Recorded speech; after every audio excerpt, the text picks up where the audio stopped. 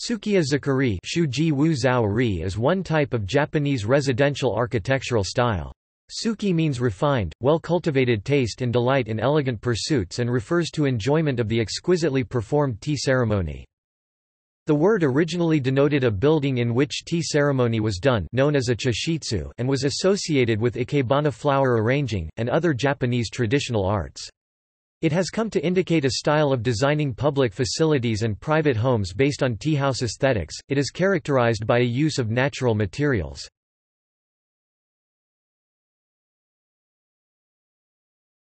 Topic: Origins. In 1587 Toyotomi Hideyoshi (1536–98) employed the tea master Sen no Rikyu as his advisor on aesthetic matters. In the compound of Hideyoshi's imposing Jurakudai Castle in Kyoto Rikyu designed an 18-map building known as the Colored Shoin which was thought to be the first example of Sukiya Zukuri architecture. The style developed during rest of the Azuchi Momoyama period 1568 and was characterized by small rooms of usually four and a half tatami, or even less, that had a tokonoma and shelves. These buildings were normally entered through a garden often by means of an indirect curved or diagonal path that would not allow an instant view of the teahouse. Sukiya Zukuri architecture incorporates teahouse aesthetics and encompasses all sorts of building types including private dwellings, villas, restaurants and inns. One of the best known examples is the Katsura detached palace in Kyoto. In the Edo period 1600 Sukiya Zukuri became popular among townspeople, and the majority of houses came to be built in this style.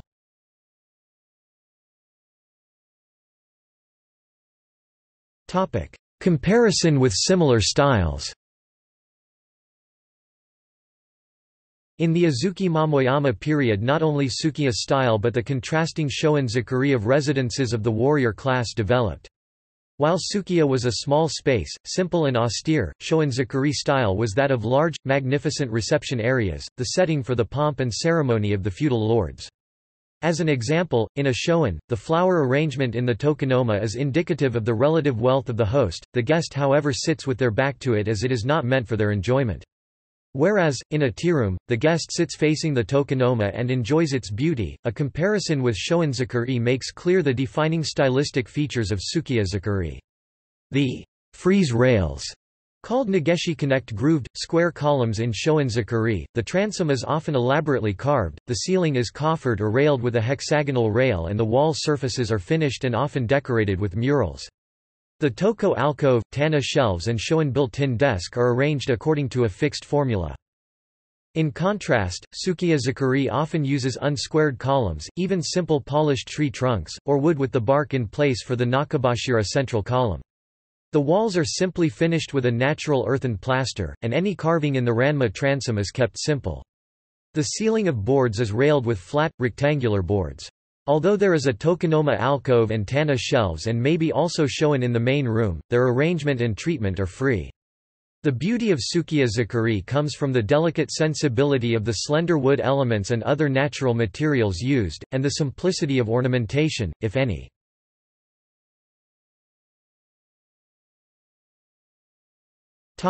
Development In the colored Shoin teahouse Sen no Rikyu stained the timbers with a mixture of Bengal red dye and black dye to make them look sooty and old. In contrast, his students Oribe and Enshu preferred brighter colors and natural finishes. It is thought that this change coincided with the development of the regular wood plane that allowed a more consistent finish to wood and a better appreciation of the natural qualities of unfinished wood. It is a trait that has characterized the Sukiya style since, after the Meiji Restoration in 1867 the samurai class and thus the Shoin style lost its reason for being whereas the Sukiya style continued to develop and was reassessed for modernist architecture. The Sukiya style requires a subtle harmony between the principles required in its construction, these include the relationship between the client, the architect and the carpenter. Both the architect and the carpenter should have a profound understanding of the materials employed.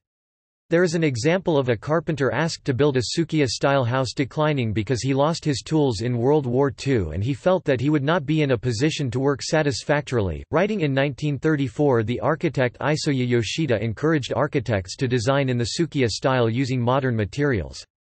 He said that it was important to display the natural characteristics of the wood although it would be a mistake to use anything that might catch the eye as this was not in the spirit of the style.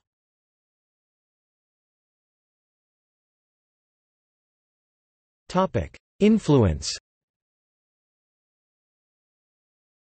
During the World's Columbian Exposition in Chicago in 1893, a small Nippon tea house was built near the North Pond that was designed in a loose version of the Sukiya style.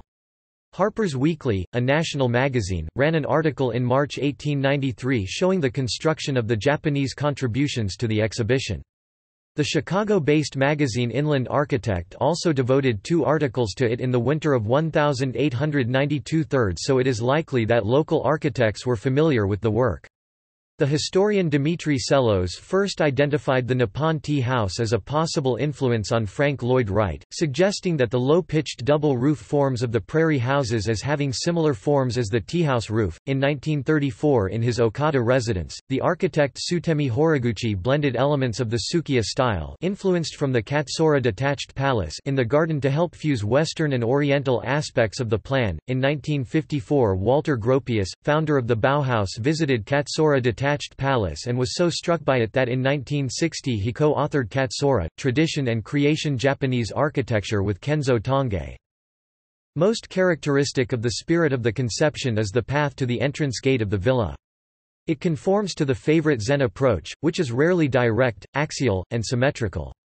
There is a decided distaste for the imposing straight avenue, instead, there is a preference for the intimate and casual but carefully planned approach which supplies surprises at every turn and leads up to the main objective in a human, natural, unimposing manner. Gropius, W. 1968. Apollo in Democracy. The Cultural Obligation of the Architect. McGraw-Hill Book Company, p. 126 Footnotes